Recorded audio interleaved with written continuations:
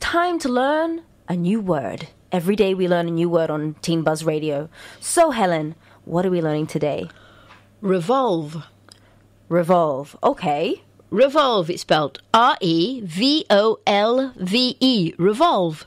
What word can you see in this? Revolve. I can see earth.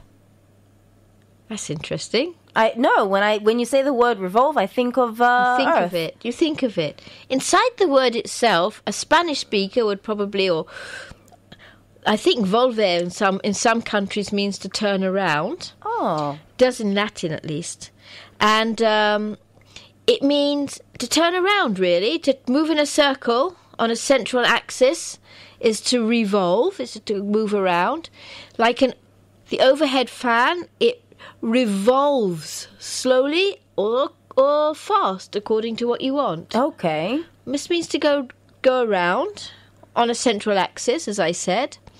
And as you said, it can also mean to move in a circular orbit, which is why you thought of the Earth, of the mm-hmm. planet Earth. For example, did you know that there are 800 double stars and many of them revolve around each other?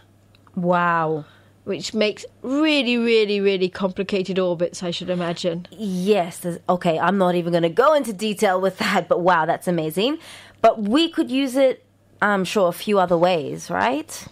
Sure, it can be me just mean to be treated as the most important element because you turn around something. There are some companies, some businesses that if you sign a contract to be employed by them, you end up having your whole life revolve around the company. Yes. I think ours is one of them. I think so too. Many people here have been working here for years and years. yeah, indeed, indeed. And how else could we use the word?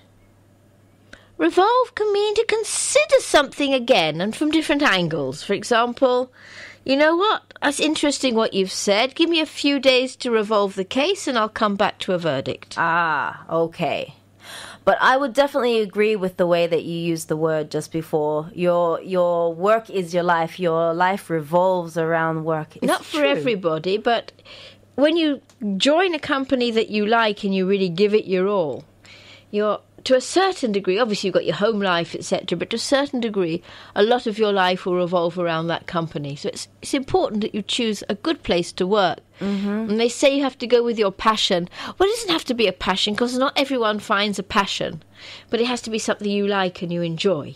If the work can help you become creative and and open your mind, and you know you're in a good place. because your life's going to revolve around the people and around the company and people you're in contact with, it's very important to revolve. Okay? Okay. Okay. Thank you very much, Ellen. All the best. Bye.